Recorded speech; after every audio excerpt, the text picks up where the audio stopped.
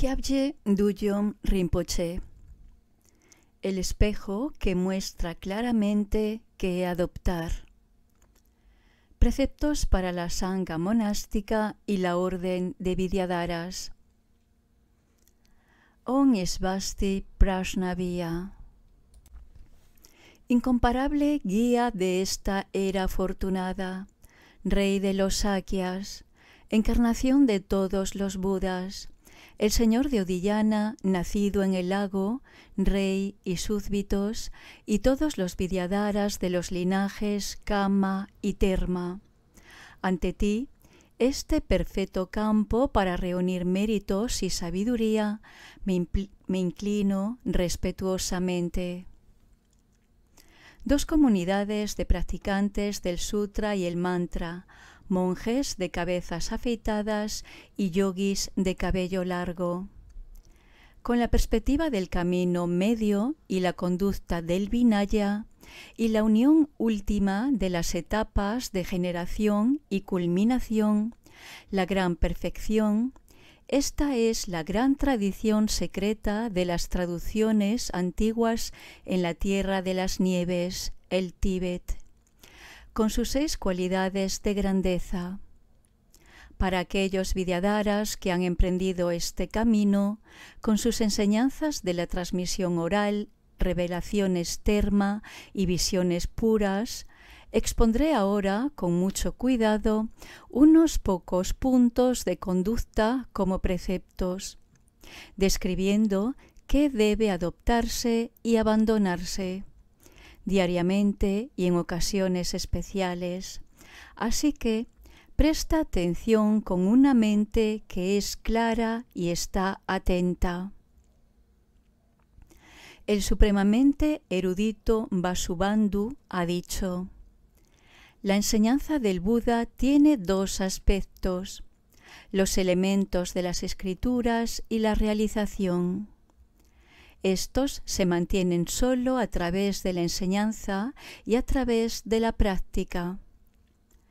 Como dice esto, es responsabilidad de los detentores de las enseñanzas o miembros de la Sangha garantizar que las preciosas enseñanzas budistas, con sus dos aspectos de escritura y realización, no degeneren sino que permanezcan durante mucho tiempo en el mundo. La Sangha tiene dos comunidades, los seguidores de cabezas afeitadas de los sutras y los practicantes de cabello largo del mantrayana. Estos dos grupos fueron establecidos por decreto especial cuando la luz de las enseñanzas budistas fue irradiada por primera vez en la oscura tierra del Tíbet por el abad Santarakita, el maestro Padmasambhava y el rey Tritson Deksen, dándonos la bien conocida expresión dos comunidades de la Sangha honradas por el rey hasta el momento presente han continuado existiendo una al lado de la otra. Aunque existen algunas ligeras diferencias entre ellas en términos de apariencia externa, vestimenta y otras, basado en el modo específico en que se toman los votos, no existe diferencia en su práctica de combinar los sutras y los tantras y mantener los tres conjuntos de votos a fin de desarrollar las cualidades internas de la realización. Con respecto al modo en que practican, el gran maestro Padmasambhava, que era como un segundo Buda, dijo lo siguiente: Externamente practica de acuerdo con los sutras Sé meticuloso acerca de la causa y el efecto y acerca de qué adoptar o evitar. Internamente, practica de acuerdo con el mantra secreto insuperable. Es importante combinar generación y culminación. Secretamente, practica de acuerdo con el gran atiyoga secreto y obtén liberación en un cuerpo de luz en una sola vida. Cuando uno se embarca por primera vez en el camino budista, es importante que se establezcan las condiciones auspiciosas correctas con un maestro. Así que comienza con la ceremonia del corte de cabello y la toma de los votos de refugio ante un maestro espiritual auténtico. Luego, si tomas la ordenación monástica, deberías recibir los votos de un novicio o de un monje o monja completamente ordenado, de acuerdo con tu edad y capacidad, ante una asamblea que incluye al abad, el acharya y el número necesario de miembros de la sangha monástica en el linaje de ordenación ininterrumpido que se remonta al gran abad Santarakita. Incluso si eres un practicante del mantra Gakpa, aún así debes observar todos los tres conjuntos de votos, de modo que toma los votos de un practicante laico, upasaka, de acuerdo con tu propia capacidad particular. Luego, basado en esto, toma los votos de un bodhisattva acorde con cualquiera de las dos tradiciones, pero preferiblemente de acuerdo con el enfoque del camino medio, y luego, al entrar a cualquiera de los grandes mandalas y recibir los las cuatro transmisiones de poder en su totalidad, llegarás a poseer todos los tres grupos de votos. No obstante, no es suficiente simplemente recibir los votos. Debes esforzarte por mantener los compromisos que has tomado y no permitir que se degeneren. El modo de mantenerlos se enseña en los diferentes textos en los tres grupos de votos. Es importante que apliques lo que se enseña tu propia mente y lo lleves al corazón a través de la práctica. Un resumen de los puntos claves se da en la siguiente afirmación de nuestro maestro compasivo, el Buda. No cometas ningún acto indeseable. Cultiva una riqueza de virtudes. Domar completamente esta mente nuestra. Esta es la enseñanza de los Budas. El cimiento es una intención completamente pura y noble y una confianza sincera en las tres joyas. Entonces, abandonar enteramente todas las intenciones y acciones negativas del cuerpo, habla y mente que pudieran causar daño a los demás es la esencia del pratimoksha o votos de liberación individual. Practicar con sinceridad todos los tipos de virtud que traen beneficio a los demás es la esencia de los votos del Bodhisattva. En la raíz de estos dos está domar nuestra mente indisciplinada por medio de la atención plena, la vigilancia y la rectitud, y adiestrarnos en reconocer la pureza que todo lo abarca de las apariencias y la existencia. Esta es la esencia de los votos del mantra secreto. Así es como se debe practicar combinando los puntos de los tres grupos de votos en una sola instrucción crucial. En términos sencillos, desde el instante en que entras al Dharma sagrado y te conviertes en un practicante del Dharma, tu actitud interna y tu conducta externa deberían exceder con mucho la de una persona mundana, común y corriente. Como afirma el dicho, el signo del aprendizaje verdadero es un temperamento apacible y el signo de haber meditado es tener menos aflicciones.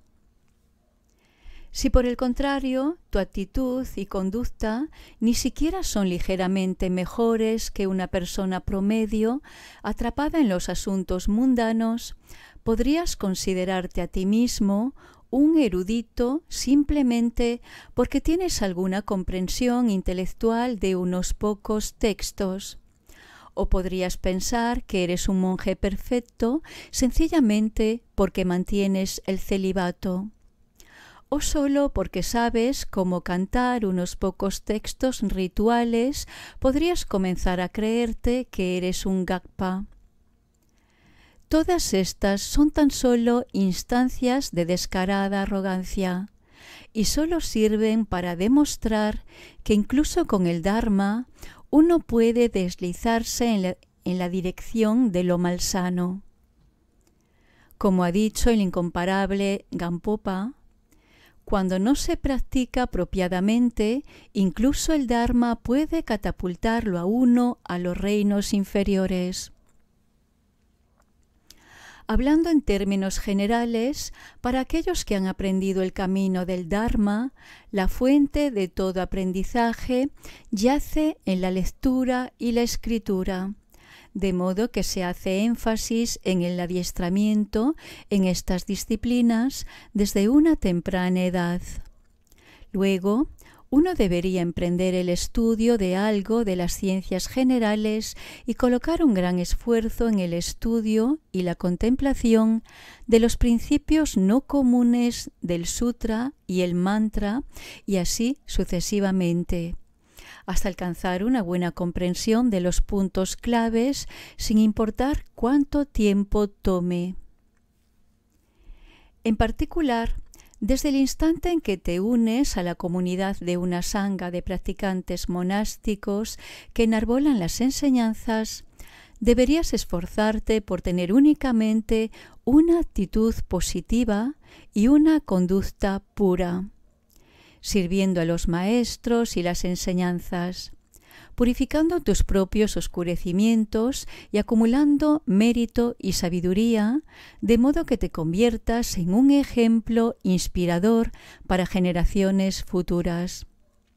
Como afirma el muy conocido dicho, para aquellos que tienen fe, una fuente de inspiración, para los ricos un campo para el cultivo de mérito.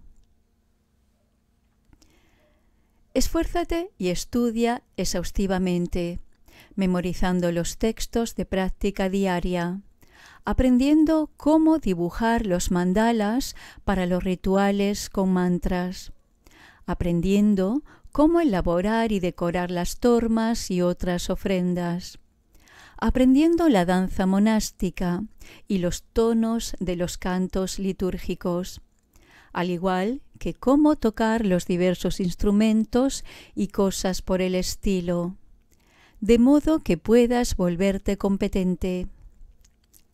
Es especialmente importante que aquellos que tienen responsabilidad de mantener las tradiciones de la práctica, el maestro Bajra, el líder de canto, el maestro de rituales, Chopon, y el asistente de rituales y otros, se adiestren para que se familiaricen lo suficiente como para practicar de acuerdo con la tradición auténtica.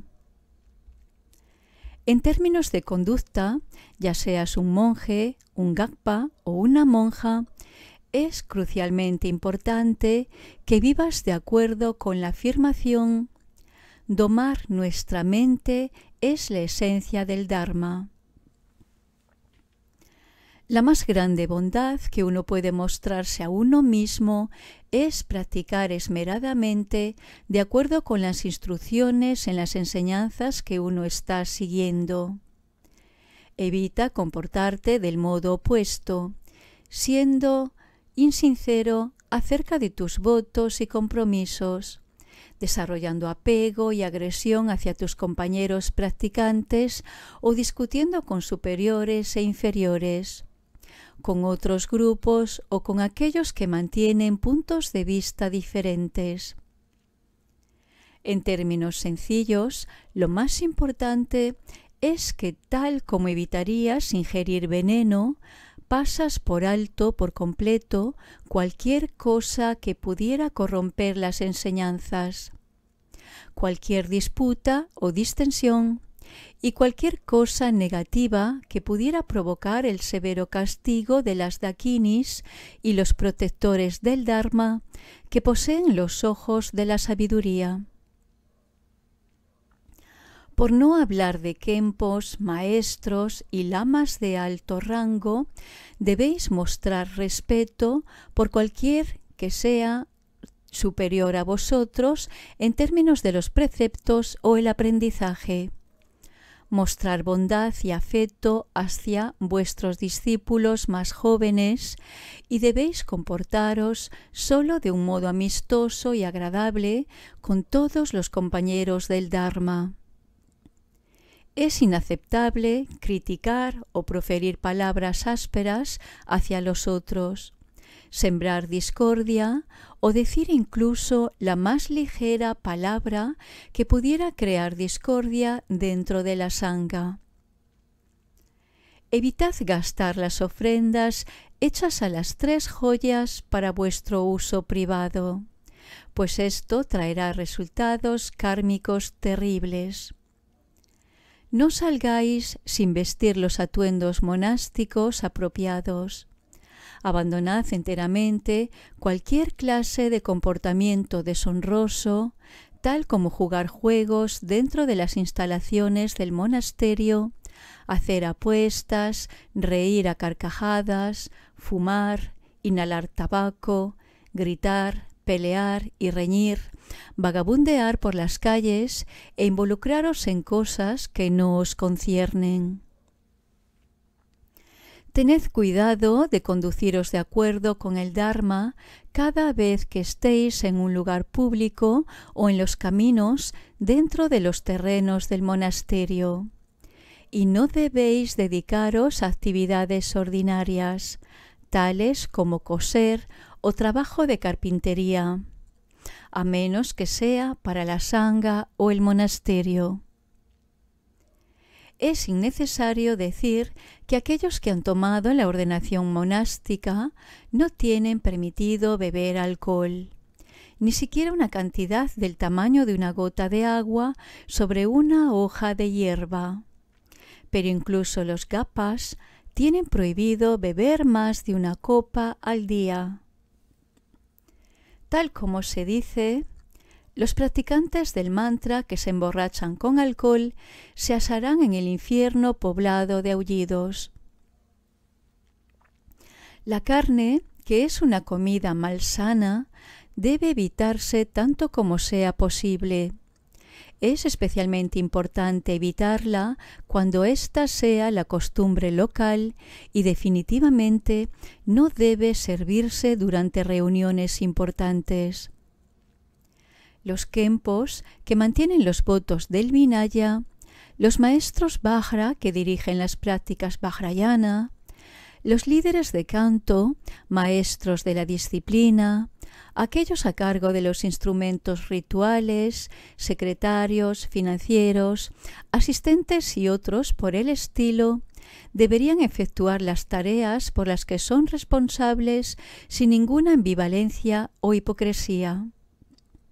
Si alguien con responsabilidades se enferma y tiene que ser excusado de sus deberes, entonces debe encontrarse un sustituto.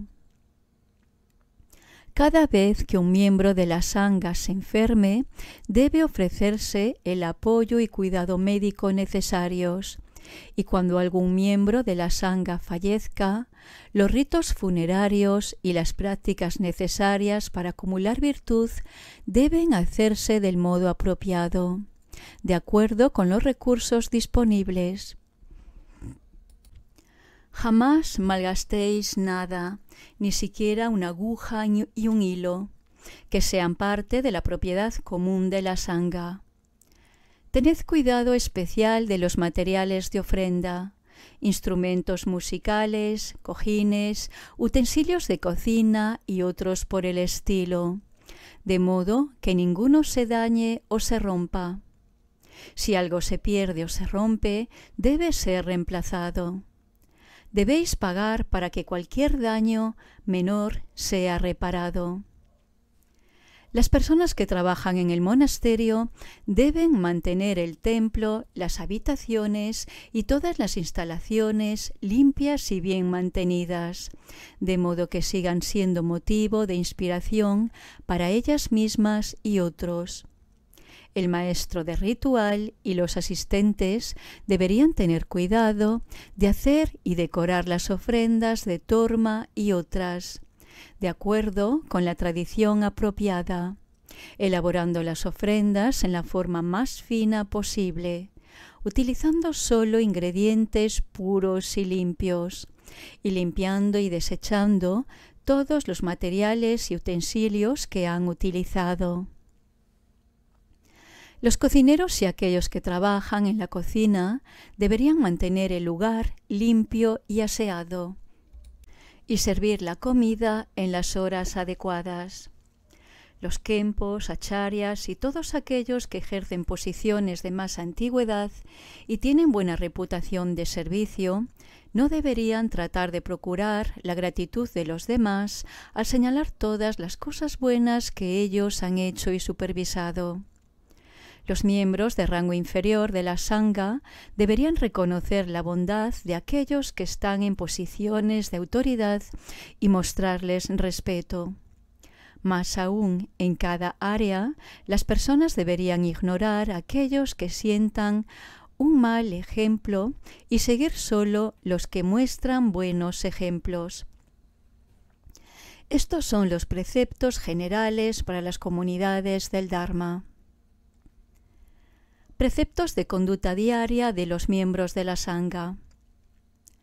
En vez de yacer perezosamente en la cama, levantaros temprano cuando suene la campana antes del alba, y practicad el gondro, los preliminares.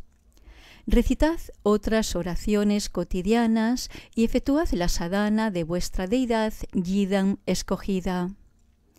Después de que haya amanecido, lavad y ordenad vuestra habitación, y luego asistid a clase o prácticas en grupo.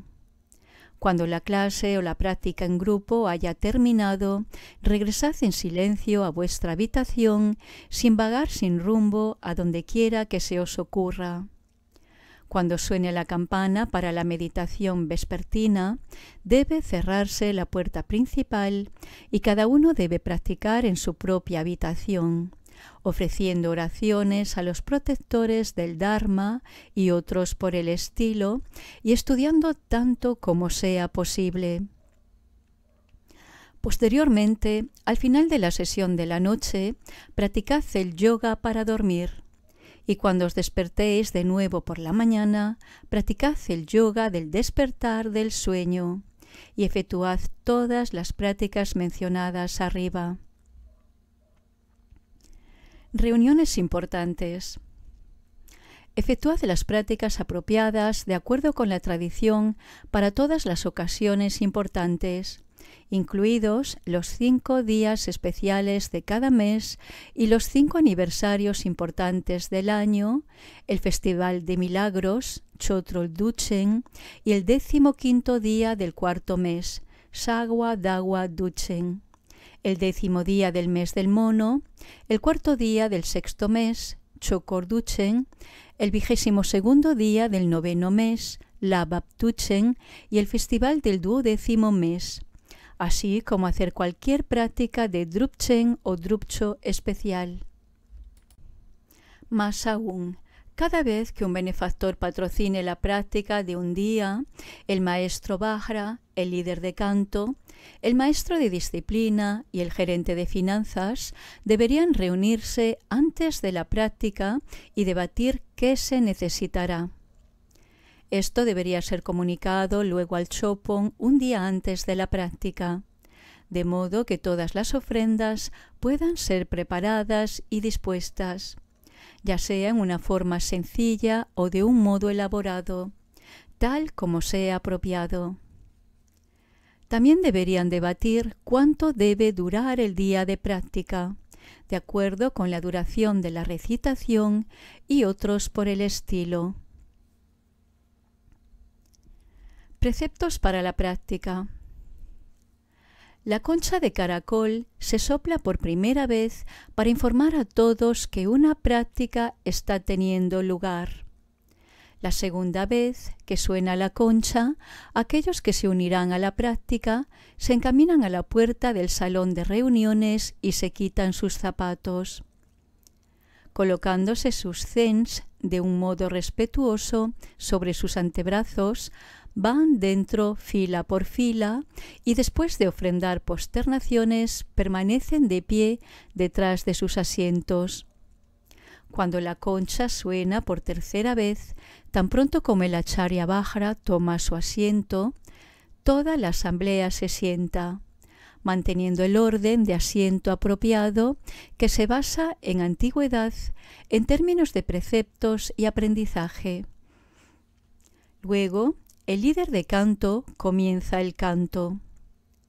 Si los monjes y gakpas practican por separado en sus propias áreas respectivas, esto no es importante pero en aquellas ocasiones en que los monásticos y gakpas practican juntos, los monjes y monjas deberían sentarse delante de los gakpas, hacia el frente de la asamblea, como una señal de respeto.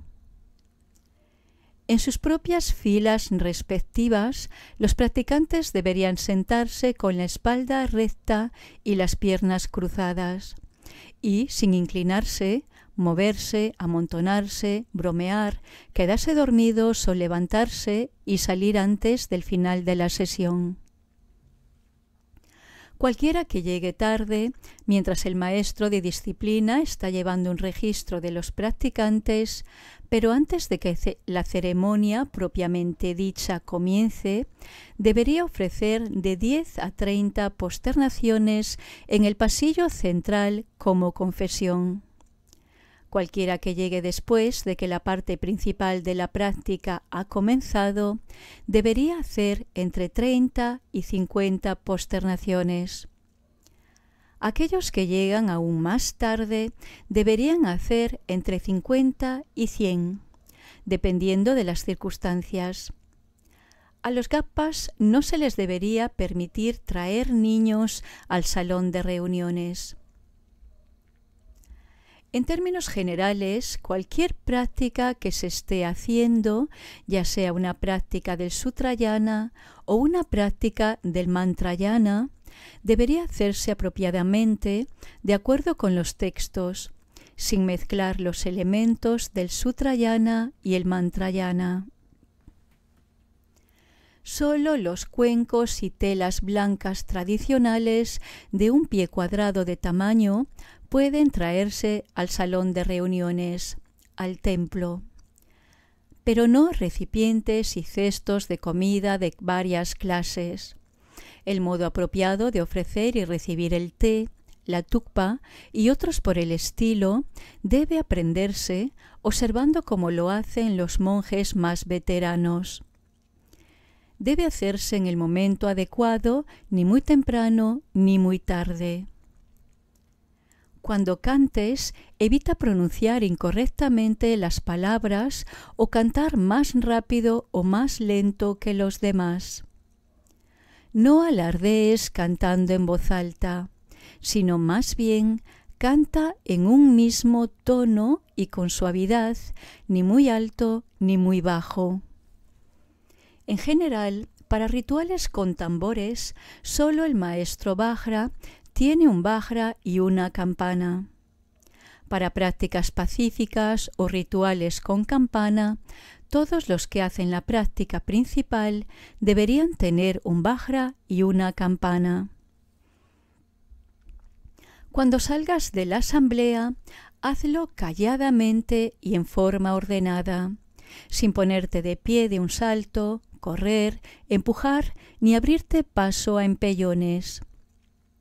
La salida debe hacerse fila por fila, comenzando con la última fila y luego, cuando comience la siguiente sesión, entra en la secuencia apropiada, comenzando con aquellos que están sentados enfrente.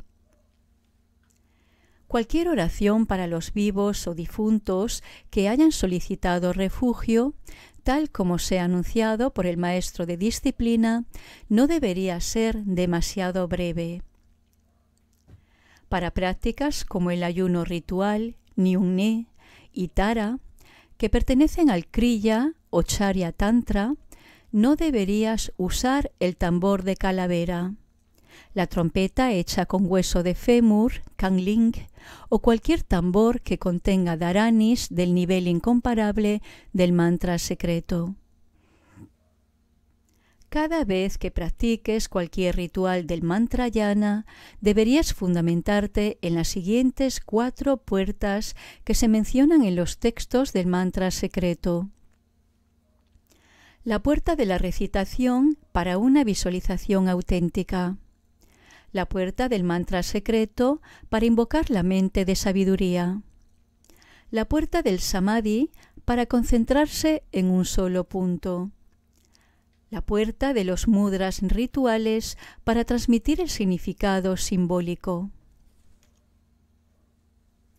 Mientras estés sentado en la asamblea, es importante sentarse con la espalda recta, de modo que los puntos vitales del cuerpo estén derechos y los vientos de energía sutil internos fluyan apropiadamente. Esto crea las condiciones correctas para una visualización auténtica. Recitar las palabras del texto a un ritmo uniforme ni muy lentamente ni muy apresuradamente, y utilizar las melodías transmitidas desde los grandes vidyadaras del pasado crea las condiciones especiales para aumentar la claridad de la visualización y para lograr todas las cualidades de la concentración meditativa. Efectuar la recitación del mantra en las etapas apropiadas, de acuerdo con el texto, sirve para invocar la mente de sabiduría de la deidad.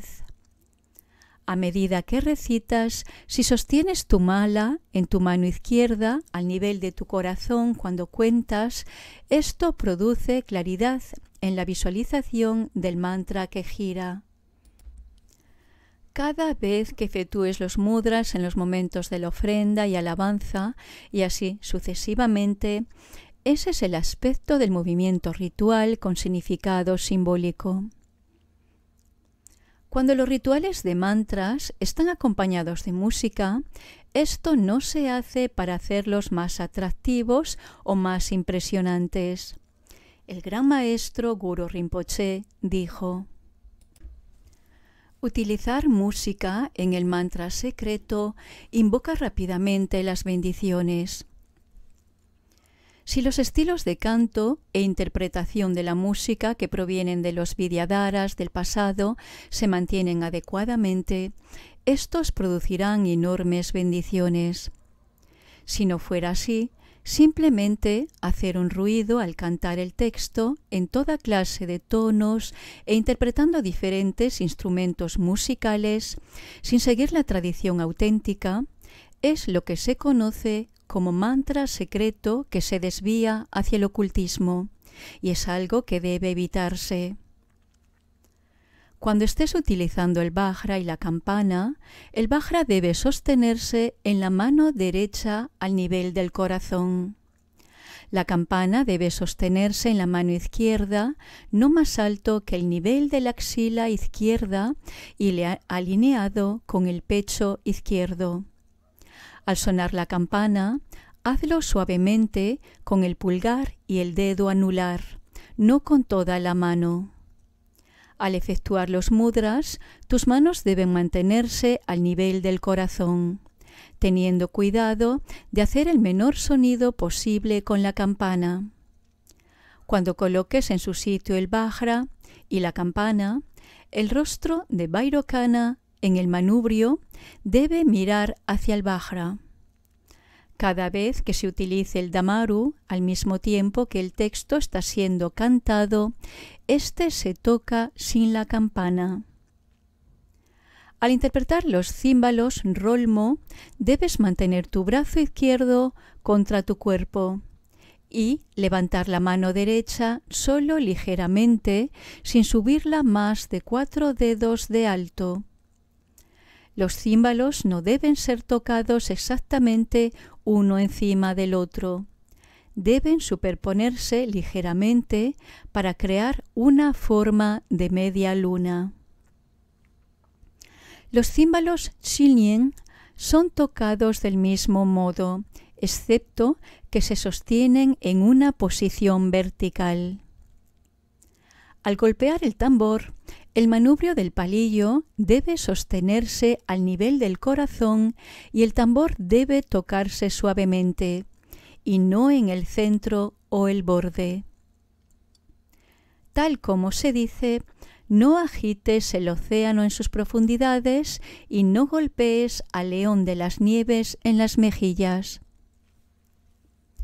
También se dice que el sonido del canto no debe ahogar el sonido del tambor, ni el sonido del tambor debería ahogar el canto, lo que significa que el tambor debe tocarse con uniformidad y suavemente. La trompeta hecha de hueso de fémur, kangling, se interpreta en cualquiera de las ocasiones de dispersión, estruendo o furia pavorosa, junto con los címbalos rolmo. El número de veces que debe soplarse puede aprenderse a partir de la observación y la instrucción. Las trompetas largas, dunchen, y chirimías, gialing, también se interpretan junto con los címbalos rolmo, de acuerdo a cómo uno reciba instrucciones. Aparte de cuando se tocan para momentos de auspiciosidad después de la práctica, deben pararse justo un instante antes que los címbalos rolmo. Es igual para la concha de caracol, excepto que sólo se suena en las ocasiones de dispersión y expulsión. En general, el Bhajra Acharya y el líder de canto deberían decidir la duración de la práctica y los detalles del canto y la música antes de la práctica en sí. La parte principal de la práctica debería ser ejecutada a un ritmo moderado, ni muy lentamente ni muy rápidamente. El maestro de ritual, Chopon, debería cumplir sus deberes correctamente sin error haciendo todo de acuerdo con las instrucciones dadas en los textos y en los momentos apropiados. El té y la tukpa deben servirse cuando la señal sea dada por el maestro de disciplina. Los servidores deberían servir en el orden de las filas sin cometer ningún error, como por ejemplo derramar o chorrear nada sobre el suelo, y deberían hacer una limpieza posteriormente. Es importante que todo sea practicado apropiadamente y con cuidado. De acuerdo con las tradiciones transmitidas por los grandes maestros del pasado y sin tomar atajos o hacer cosas descuidadamente y sin orden ni concierto.